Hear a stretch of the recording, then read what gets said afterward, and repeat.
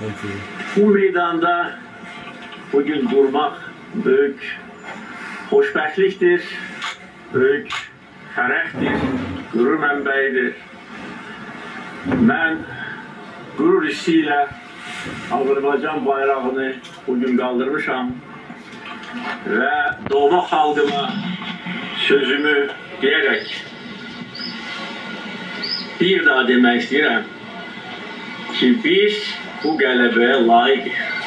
Azərbaycan xalqı bu qələbəni öz qanı, canı bahasına əldə etmişdir.